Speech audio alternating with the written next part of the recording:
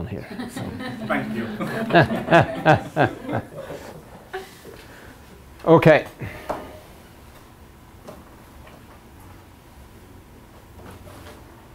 Yeah. The next step would be, of course, to, to kind of put this model into Lingo and see how that is done. In order to do that, we need to know a little bit more than we know already. We need to know how to define binary variables in Lingo. That is, of course, a necessity. If the system doesn't know that the uh, uh, variable is binary, there's nothing that kind of. So we have to give specific instructions on defining binary variables. And that's basically the only difference. But um, let's uh, kind of return to the example and kind of write out this model frame in the example to see how it is. Okay.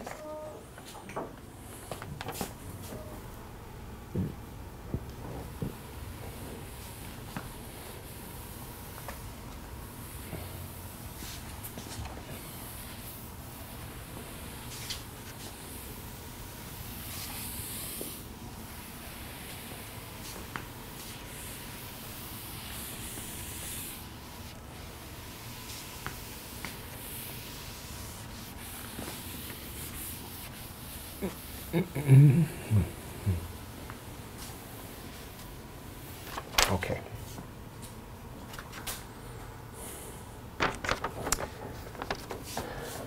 Our example.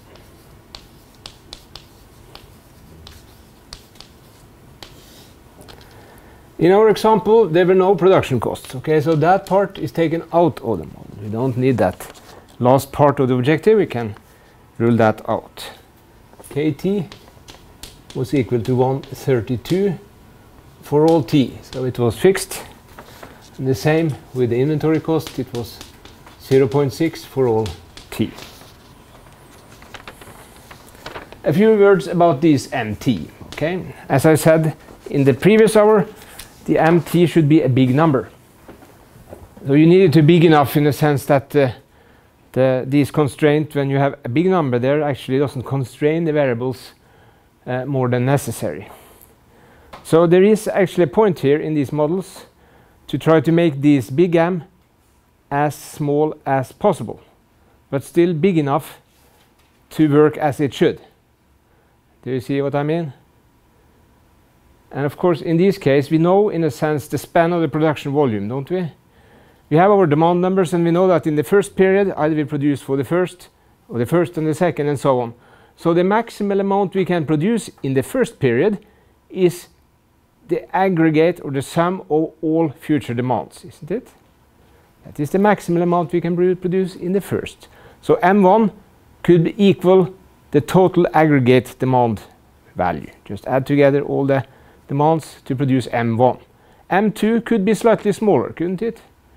because then we have kind of finished in the first period and then it's only the remaining demands which are relevant.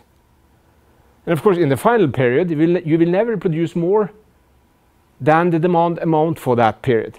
So these M they kind of start at the big level and move down. That is the most efficient M's you can have in this kind of model. And the reason for efficiency here is that if you have these constraints which are kind of too loose then you risk searching in wrong areas. You can see this, okay? If you kind of have a space which is too big and you kind of search through it, it's better to kind of narrow it down. You can, you can compare this that you're looking for a missed person, okay? And if you know that that person is missing in Africa, then there's a lot of search to do, isn't it? But you, if you can restrict it to Zambia, then there's less searching. If you can uh, restrict it to the capital of Zambia, which is Lusaka, then it's even less space to ser search. Okay, and this is the point here. So we try to, when we use these big M's, to make them as small as possible without violating the logic. And in this case, it's easy to do it. In other cases, it's not that easy. In some cases, you may, you may even formulate and solve another optimization problem to actually find the most efficient big M's. And this could be actually very important when it comes to solution speed. So,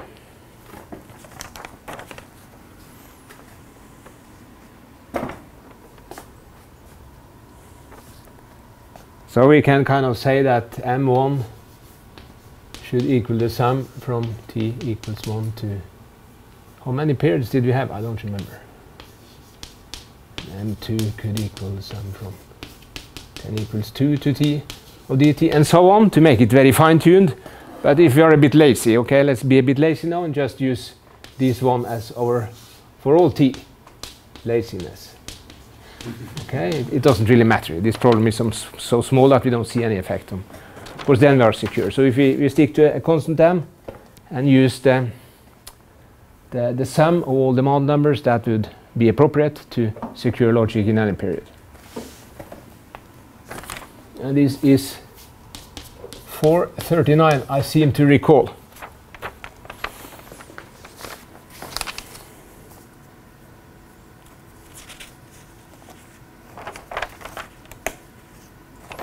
Okay, let's try to look at uh, our model here, what it looks like.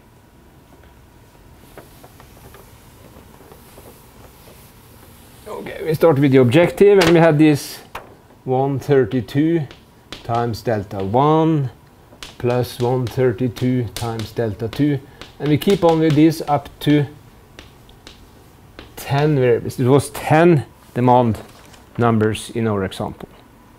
Let me see. 1, 2, 3, 4, 5, 6, 7, 8, 9, 10. Yeah, this was correct. And then we have to add this inventory part 0.6 times I1 plus 0.6 times I2 and so on up to the final one. We don't have any constraints given in this example on how much to have in inventory. Of course, then we typically will not, will, not have any inventory when we, when we finish because that will produce extra unnecessary costs. And our optimization will fix that for us. Then we have this inventory balance constraints. I1 should equal I0 plus X1 minus the demand in the first period, which was 42. And this one is assumed zero in the example. We didn't have any initial inventory in this example, if you recall from yesterday. So we end up here, if you want to write it slightly different, I like, as always, to put all the variables on the left-hand side and the constants on the right-hand side, and I rearrange here, put that one there and that one there. I get x1 minus i1 equals 42. That is the first constraint you have to put in here for the inventory part. And then you will get x 2. Uh, -huh. It's better to do it like this, I think. I remove this a little bit to the left. Then I get, sorry, this should be x1, shouldn't it? x1, yes. So then I move to x2. Something happens in between here, minus i2 should equal the second demand number, which also was 42, if you recall the numbers.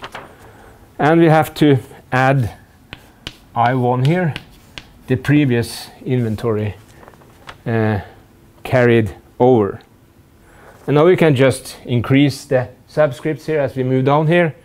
So we get uh, x3 plus i2 minus i3 equals the third numbers, which was 32, and then it moves on all the way down to the final one, which is number 10, x10 plus i9 then perhaps minus i10 equals the final one which was 38 so there is actually one two three six missing in between here now okay I didn't write them to.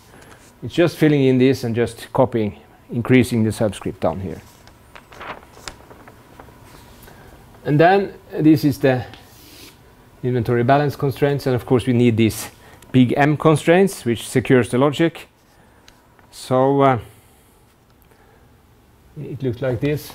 Xt less than or equal to mt times delta t. Starting with 1 x1 should be less than or equal to mt which could be 439 times delta 1 x2 less than or equal to 439 times delta 2 and so on they are just similar times delta 3. So this is the direct content in the Lingo model. Okay, you write it in. Of course, you have to write. Use some. You can't use Greek letters, I think, so you should perhaps use delta with words or whatever you like. Uh, and uh, you can use d if you like. Uh, all these 10, all these 10, and you have finally to specify that these delta variables should be binary, and you need to know how to do that, okay? So let's have a look at this example. It is available on the front. Now,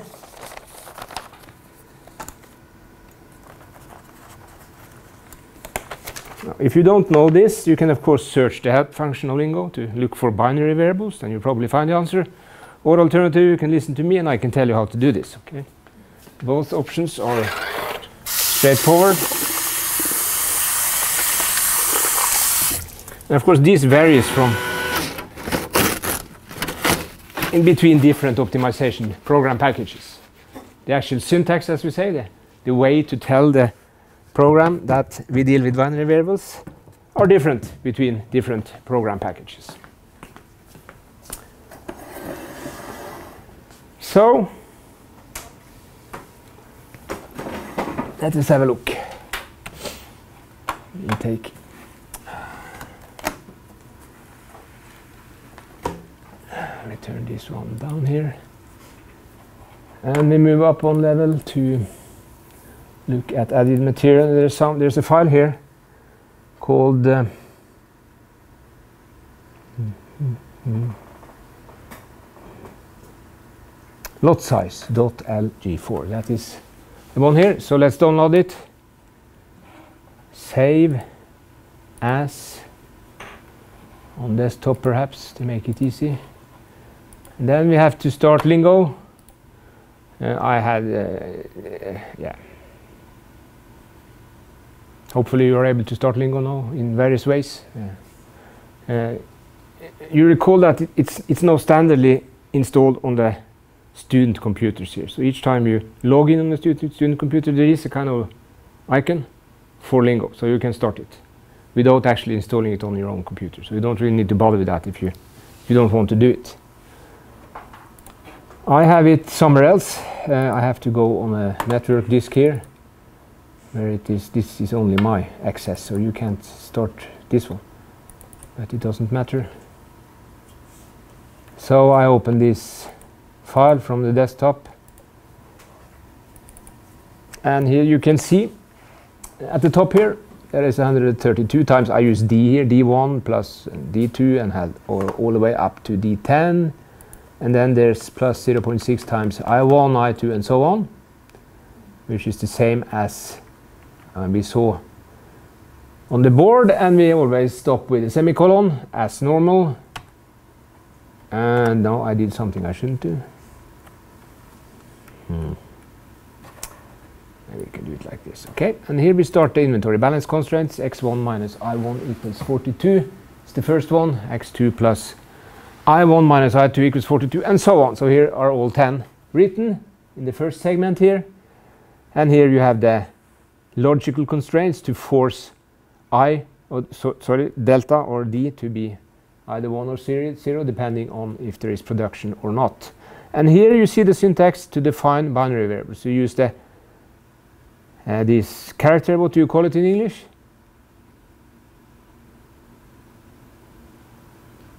What do you call this character? This, uh, which is in the email addresses. At. at, yeah, at, yeah, okay. So you use that character and you write bin with large letters and a parenthesis and and you put the variable inside and you end with the semicolon. No, I see. You see, I have defined all these d's to be binary variables. And of course, the, the non-negativity claims for x and i is kind of, or in this case, the model doesn't have x, it's actually only i, are automatically taken care of. Yeah, sorry, there are x's as well here, of course. There are x's here, but there are no x's in the objective anymore because the cost was, was zero. We need to have the x's in the model to kind of be able to know when these deltas should be 1 or 0. So the next step is then straightforward to just solve by uh, clicking this uh, target. And you see here you get some information on the model again. There is the number of variables which are 30 and there is no nonlinear variables but there are 10 integers. So they, they use the term integer here instead of binary. This is somewhat misleading but uh, uh, the, the point is that of course a binary variable is a kind of a special integer variable. It could be whole numbers So it's possible here to kind of use integer variables as well. But the integer variables as such are not very important in, in this kind of, of theory. So we have constraints here. It's totally 21. That seems reasonable. We have 10 inventory balance equations, 10 logical ones for the binaries, and an objective. So that's 10 plus 10 plus 1, which is 21. And these non-zeros is, is, something we didn't discuss, and we don't plan to discuss it uh, either. So you don't need to care about that. And here you, here you see the solution. You see the objective value is 610.20. Do you remember the best solution from Silver and Meal? Was 650 something, wasn't it?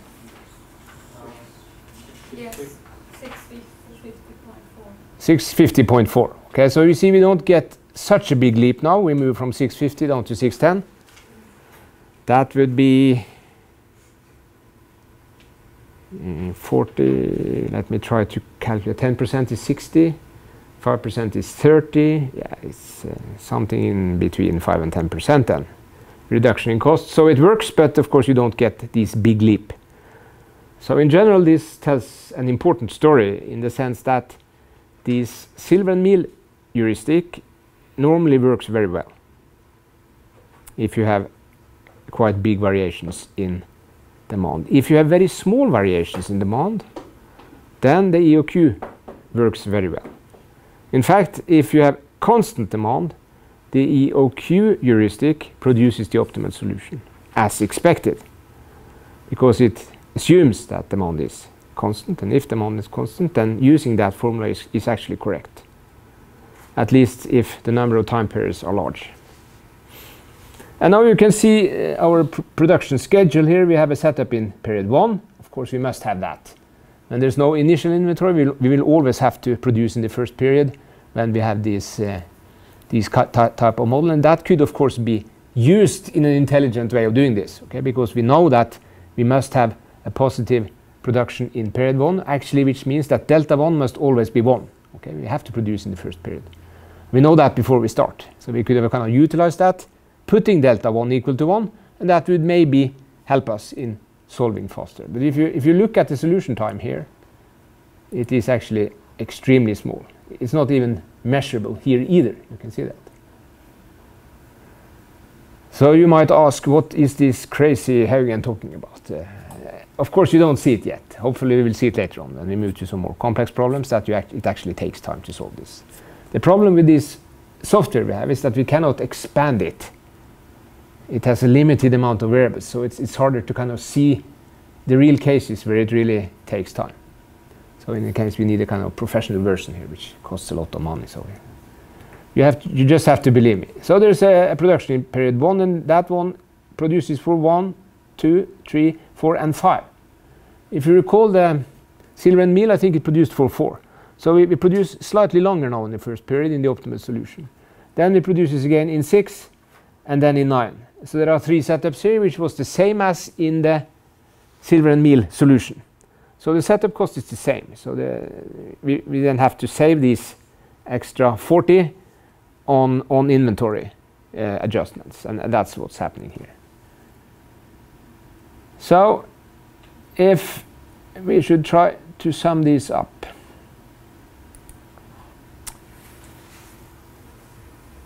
We have looked at a naive heuristic, the lot for lot heuristic on this problem. We looked at the EOQ approximation.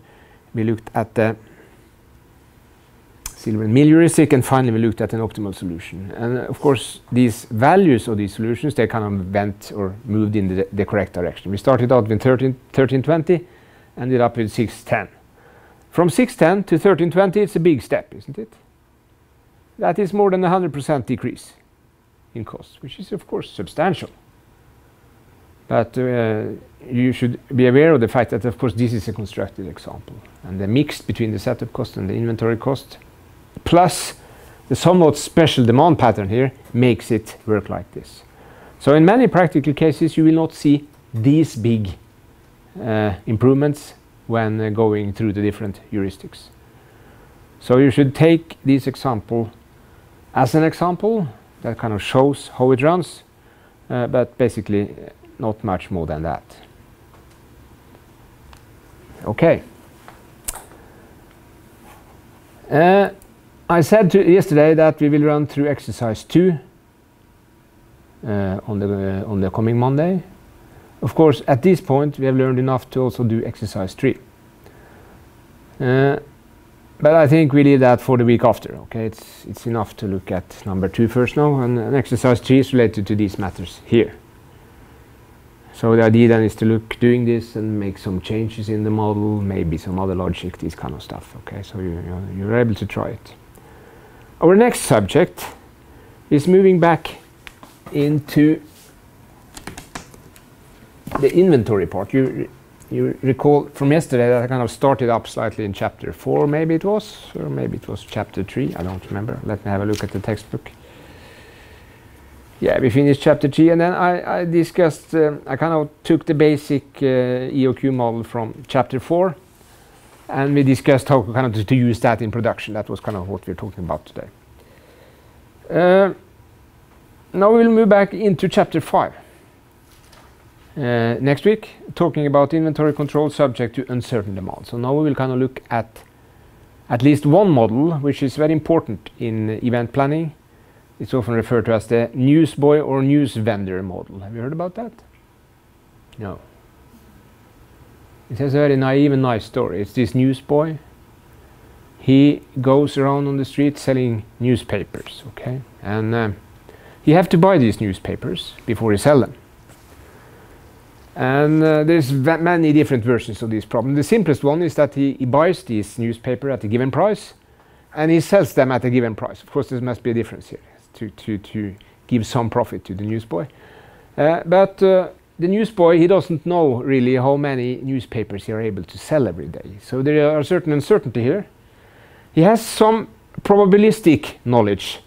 So you could say on average I sell 10 papers, some days I sell 5, others I sell 15.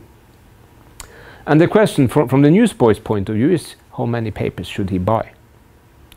Based on the knowledge of this differential between the selling price and the buying price. And there is also, in many cases, opened up for the possibility of returning the newspapers, either at a zero price or at a certain symbolic price. So you can buy a lot of newspapers, go out and sell a part and take the rest and go back to the news agent and say, okay, I get this left. How much do you give me? So this is the simplest version. And there's a lot of versions. There's the so-called pricing newsboy model, where the newsboy also has the option of defining his own price. Now, now he buys the newspaper at a given price, but he can also decide on what price to sell for. Of course, then, presumably or assumably, we assume that there's a link here.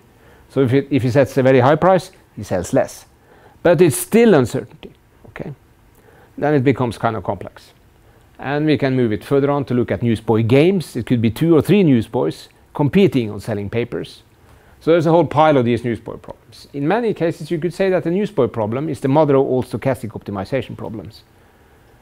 And if you think about the story I've told you now, it should not be very hard to link it into the event setting. Okay, in the event setting, we kind of buy a volume of something. We could buy a volume of artists, for instance, for the Molde Festival.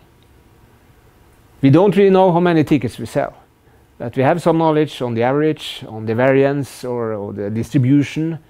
And again, the question is what artists to book and how many to book, which is very close to this newsboy situation. So this is a kind of a one period inventory problem. Okay, you need to decide how much to, to, to buy in a given period and you cannot cannot store it to the next day. Of course, you know newspapers they don't sell the day after, at least not at a reasonable price. So, uh, so, so this is the topic we will discuss next week. Okay, and when we finish that, we move into chapter eight, I think. Operations scheduling which is sequencing stuff, making the right sequence of stuff. It's it's an important part which may be important also in events. Okay, how to sequence various artists, for instance. Should you have the best artist early or the best artist late? Should you have a best artist in between? This is not obvious, is it? So we look into these matters. How should you sequence a football league?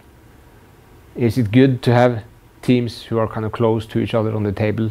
Playing against each other, or should it be the vice, the, the other way around, to try to maximize the audience, for instance?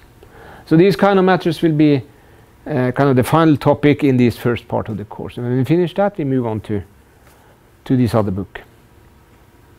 Okay? Then I don't have anything else today, so I think we stop because I have to go to Ørsta and Volda. Okay? Have a nice day. Have a nice week.